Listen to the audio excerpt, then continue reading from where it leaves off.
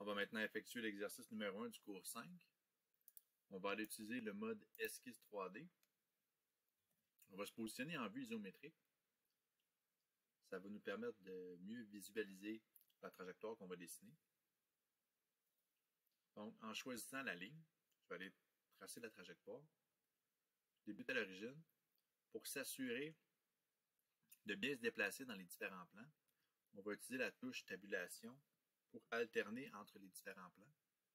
Donc, si je veux reculer le long de l'axe des Z, je vais m'assurer de travailler dans un plan comme ici, on peut voir euh, ZY. Je vais pouvoir reculer en Z. Ici, pour pouvoir remonter en Y positif, encore là, je dois travailler sur un plan tel que YZ.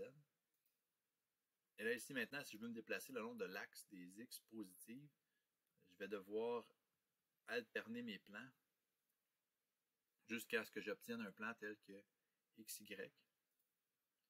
Donc, quand on veut se déplacer, on doit toujours s'assurer que l'axe dans lequel on veut se déplacer soit dans un des plans sur lesquels on travaille. Une fois la géométrie de base réalisée, on va pouvoir passer à la cotation. Je vais débuter tout de suite avec les congés qui ont 20 mm de diamètre de rayon Donc, je vais aller ici, cliquer sur mes points. Je vais avoir mes congés. Je vais ensuite rentrer les dimensions.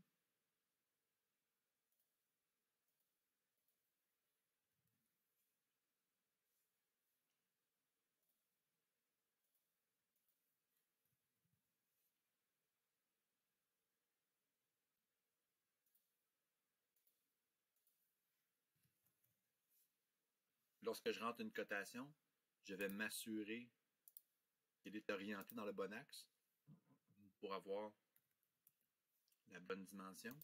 Si on ne fait pas attention, on clique sur différents points. Ils ne seront pas dans le même plan, comme on peut constater ici.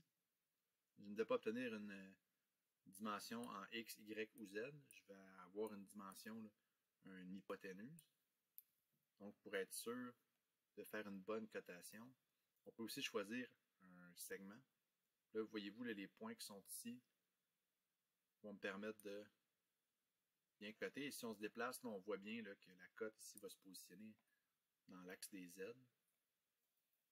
Donc, porter une attention particulière lors de la cotation pour vraiment bien s'assurer de coter dans le bon plan, dans le bon axe.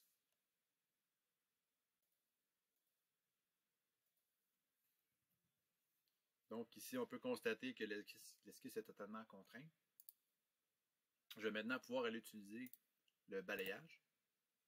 Et ici, on n'utilisera pas le balayage avec profil d'esquisse, étant donné que nous avons un cylindre. Nous allons aller dans profil circulaire, qui, de base, euh, va utiliser un cercle. On utilise souvent les profils circulaires car euh, la tuyauterie, la tubulure, c'est des composants qu'on utilise régulièrement. Donc, je vais ensuite rentrer mon diamètre. Je vais aller en fonction mince pour pouvoir percer mon tuyau. Je vais avoir des parois de 2,5 mm d'épaisseur. Et là, vous voyez, je peux aussi alterner ici la dimension.